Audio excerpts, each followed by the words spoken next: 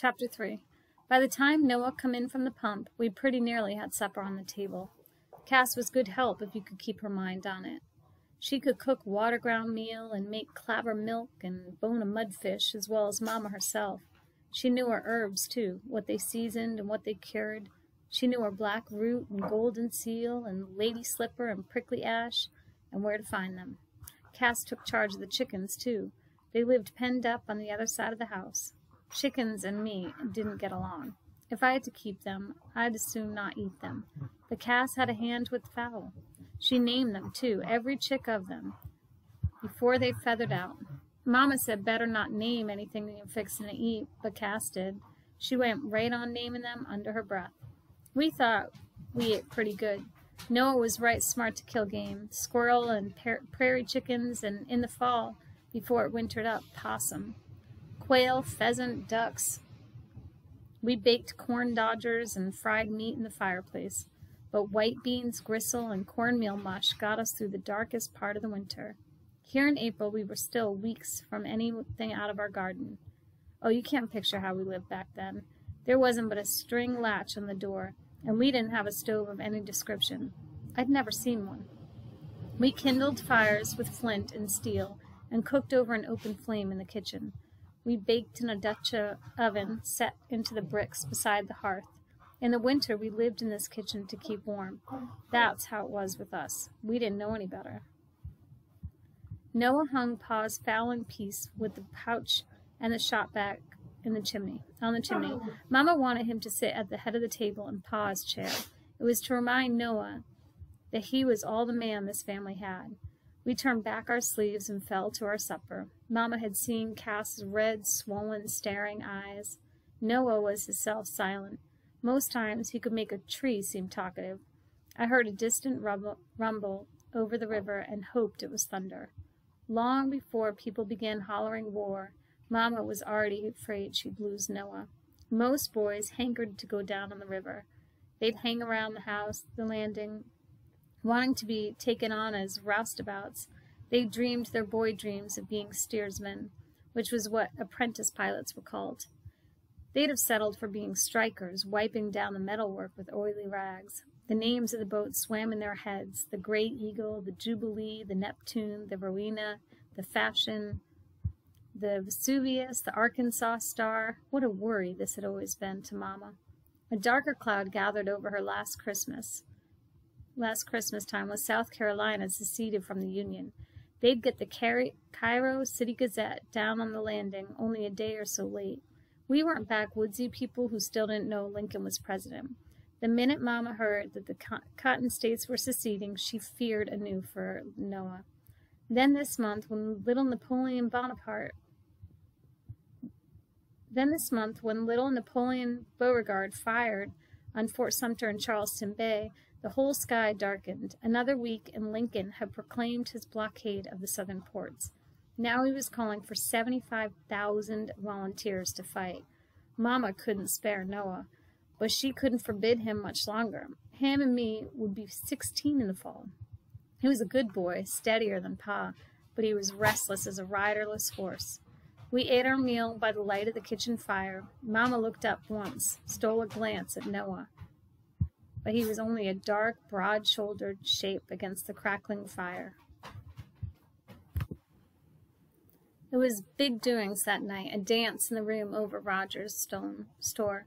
This was the first such gathering of the spring. A fiddler was in from Cobden, and Mr. Chilly Atterbury to do the calling. We wore our other dresses, the linsey ones we've tried to save back. Noah wore an old black coat of Pa's, and he was lost in it. We went, though. Everybody in the district who wasn't tied to the bed or locked in the attic went.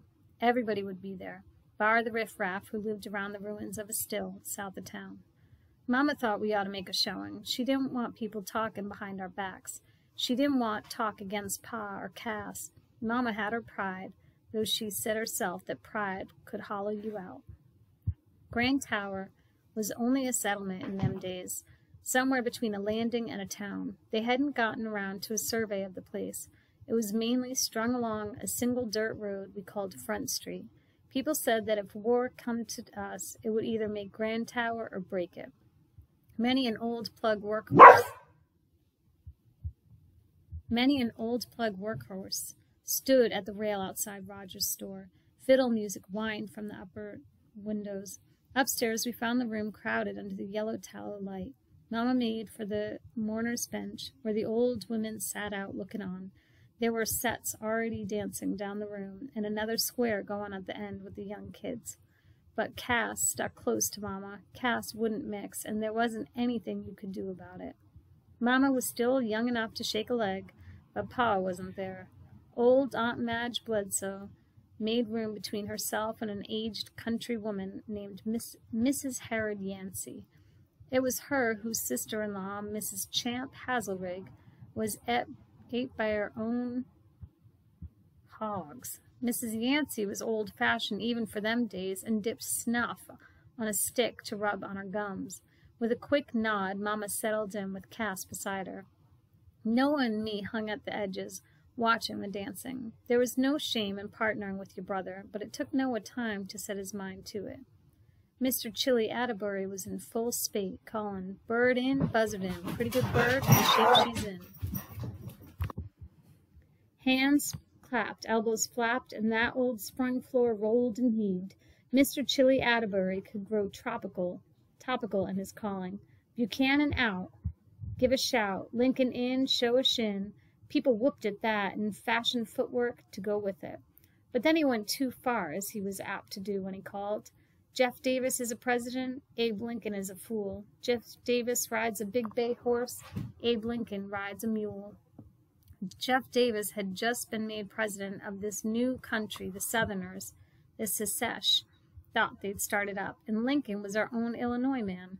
The Southerners whooped with approval. Cat calls and heavy stomping came from the rest. Mr. Atterbury drew up just shy of a fist fight and fell back on an old faithful Texas star. Gents to the center and back to the bar, ladies to the center to form the star. Now we were in there with them, me and Noah, backing and forthing and sashaying with the rest. I tried to switch my meager skirts and find my place as the star turned to the tune. Then somehow I was across from that young man named Curry Marshall. Now our elbows linked, so I tried to grow light on my feet. I bit my lips to make them pink and tried to simper. But I expect Curry Marshall was looking straight over my head. He was a big, tall galoot, tall as Noah. I don't know how long we all danced until, like the crack of doom, a steamboat whistle split the air. The bow bounced off the fiddle, and everybody stomped to a sudden stop. The Right quick we heard footsteps pounding up the stairs. T.W. Jenkins burst upon us. It's a Southern boat. It's the Rob Roy from out of New Orleans. A whoop went up from the Southerners and Northerners alike. Where's my boys? cried T.W. Jenkins. He ran the freight landing and the store that went with it, the only store we had. There was unloading to be done of whatever was coming off the boat. Noah and Curry Mitchell and three or four others who worked at the freight landing darted forward. Noah brought home the only ready money we had, though Mamma thought he worked too close to the river. Everybody ganged down the stairs. We met every boat, and this was a special case. The clammy night air hit us full in the face as the town made for the landing. The Rob Roy blazed with lamplight that lit the water around it. The paddle wheel churned in reverse. The gangplank was already down. I'd never set foot on a big boat. To me, a riverboat was a palace. The pair of flaring gold chimney stacks belched flame-colored smoke into the night. Below them the decks glowed like a gingerbread wedding cake. The Rob Roy was full to the gills with passengers. They must have been Yankees hurrying home in case war trapped them. And there were those people who seemed always on the river, restless travelers. The railings were jammed tight with dark figures. I saw the firefly glow of the gentlemen's cigars. I imagine I saw diamonds within the ladies' flowing cloaks and emeralds in their hair. I couldn't picture where they'd come from, where they were going. Did I know enough to wonder? We worked our way forward to see Noah and Curry and the other boys running up the gangplank for the freight. We all waved and waved till the pilot up on the Texas deck bothered to wave back. What a sight it all was, this brilliance in the velvet night. People were crazy to hear the news. They called up to the passengers leaning on the rails. What's it like down yonder? What's conditions at New Orleans? Port's open, someone called back. Business as usual, still shipping cotton, but we was boarded and searched at Cairo. We drank it all in and turned over every word. Then, lo and behold, two figures were coming down the plank. Will I ever forget that first sight of them? Two figures, backlit by the boat, come down to us by lantern light. A young lady was in the lead, in ballooning crinolines. Heavens, I'd never seen such skirts. Rustling taffeta stretched wide over hoops. Her top part was encased in a cut plush cape with tassels. And her bonnet, my stars, I pushed past people aside to get a look at it. A bonnet too dark to make out except for the ice blue satin it was lined with, and a whole corsage of artificial violets planted inside next to her face an enormous satin bow tied beneath her chin, and then her face, framed with long dark curls beside the violets.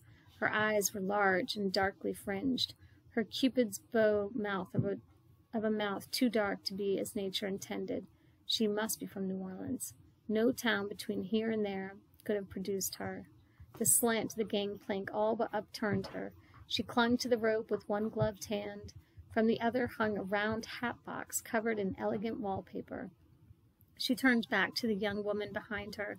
I saw this other I saw this other one only in silhouette at first. She was narrower, darker, shrouded in a long, plain cloak.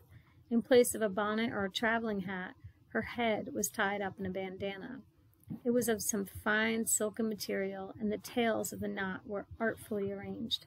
Her hands were full of various boxes and reticules. The two of them murmured together. Behind them, a deckhand staggered under a humpbacked Saratoga trunk. At the end of the plank, he very nearly stepped through the young lady's hoops. When he swung the trunk off his back, it lit in the mud. By then, I was standing as close to the young lady as I am to you. She turned right to me.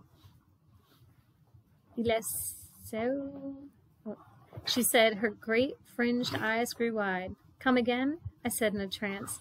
He's drunk, that one. All men are drunkards, and the men on this boat, all of them, spit, spit, spit. She pointed back to the Rob Roy in case I'd missed seeing it. I stared at her, and all the crowd around us stood silent, listening in. Drunk or sober, the deckhand was back up the plank.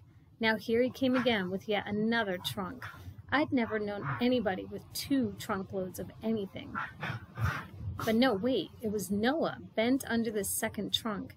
He sidestepped the young lady and almost fell off the plank for looking at her. She noticed him, I believe, but now she turned to address us all. Evidently, the world was her stage. I am meant for St. Louis, but I cannot go on. It is too dangerous there. She sang out, and in her mouth the word dangerous took on quite a foreign sound. It was true there was unrest up there. On the day Lincoln took his oath of office, a Confederate flag was rung up over the Burt Hole Mansion in St. Louis. Confederate flags rose above some of the best houses on Olive Street, according to the word we'd had. People said the only safeguard to federal authority in Missouri was the St. Louis Arsenal. Soon, people said there'd be blood in the streets. I am, how do you say it, the young lady declared out of the frying pan and into the fire. What must we all have looked like to her, listening open mouthed to her every word? It didn't seem to displease her. And I was insulted at oh. Cairo. She looked around at us with her great fringed eyes to see how we took this terrible news. Cairo was the last town at the bottom tip of Illinois, where the north points a long finger at the south. Insulted, she repeated. Me! She dealt her bosom a blow. The Federals, they come on the boat in a swarm like bees. They want to see our papers. They want to count our money. They go through our things. She pointed out her trunks and shook her hat box at us. I was so scared I pushed a scream. Darker than the night, her eyes widened to fill her bonnet. They look at things no man should see. We stirred. And would you believe they take from me my pistol? We caught our breaths. She'd been armed? Hardly more than a toy, a lady's pistol that live in my muff. I am desolated without it. How handy a pistol can be, and mine had a pearl handle. Now we were struck dumber than before. No, we cannot brave St. Louis. She swept a tiny gloved hand back at the other young woman, the silent one. I was meant to pay a visit to my aunt, Madame Leblanc. Again the young lady's gaze swept us. Madame Blanche Leblanc. She is known to you? We only gaped silently back, our tongues tied. Was this young lady an actress? I for wondered. I for one wondered. I'd heard about the play acting on the showboats, but surely no performance beat this one. We can. It is as if we are naufrage. How do you say shipwrecked? We stay here. Is there a hotel? Transfixed though we were, we'd been watching the young woman behind her too, the darker one. She must be a servant. Was she a slave? A question murmured among us. Was she a slave standing now on the free soil of Illinois? My, how we wondered.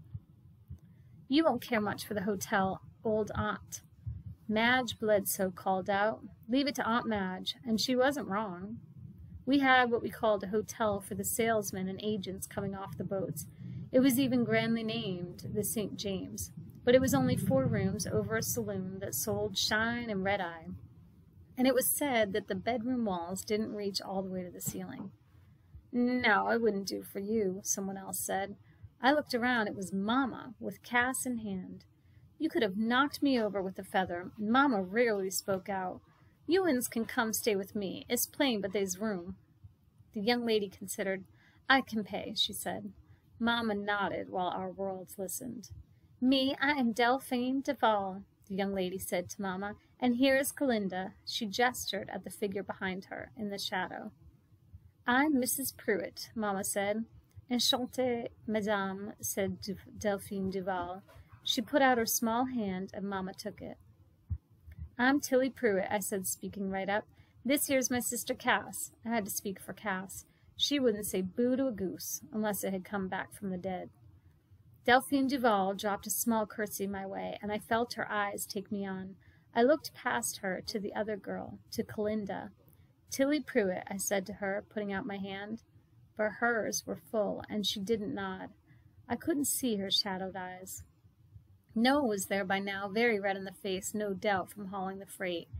That there is my twin brother Noah, I explained, because in the presence of Delphine Duval he was all eyes and no tongue but he hefted her trunk back onto his shoulder. Cass and I managed the other trunk between us. As the boat began to move away, churning water behind us, the crowd parted, parted and off we went. Calinda was hung all over with parcels and valises. Delphine was only lightly burdened by her hat box. Mamma led the way because it was dark as a snake's insides now. I watched the shape of Delphine swaying, sighing hoop skirts, and saw that her slippers had heels as we climbed the Devil's Backbone heading for home. I couldn't see a moment ahead.